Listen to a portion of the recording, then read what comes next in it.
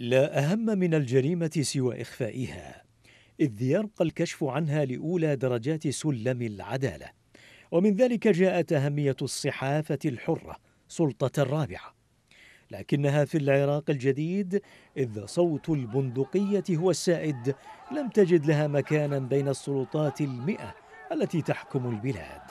فأضحت هي نفسها ضحية بعد أن كانت تحاول تشخيص المذنب. سنوات دامية مرت على الصحافة في العراق عقب الاحتلال الأمريكي. امتازت بضريبة دم باهظة. وصلت لأكثر من 277 صحافيا وإعلاميا لقوا حتفهم في غضون 18 عاما من عمر الاحتلال. وفيما بعد لم تختلف الأمور كثيرا فتراوحت محددات العمل الصحفي في العراق بين القتل والتهديد والاعتقال لكل من يكشف حقيقة أو يشخص خللا أو يفتح ملف فساد.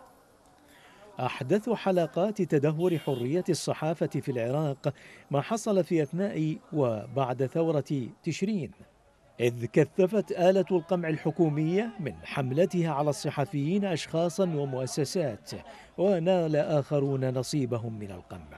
معاد الحرب والسلام البريطاني. قال إن حرية الصحافة في العراق تدهورت أكثر بعد ثورة تشرين ولا سيما مع رد الفعل العنيف على الجهود الإعلامية لمتابعة موجة التظاهرات المناهضة للحكومة في شهر تشرين الأول عام 2019 ونقل التقرير للمعهد عن إعلاميين ومديرين لمحطات إذاعية قولهم إن الحريات المكتسبة بشق الأنفس معرضة للخطر إذا حاولوا محاسبة السياسيين والمسؤولين وأن الإعلاميين يخشون معالجة قضايا الفساد وإخفاق الحكومة ويعدون ذلك عملا محفوفا بالمخاطر إذا لم يكونوا مدعومين من حزب سياسي.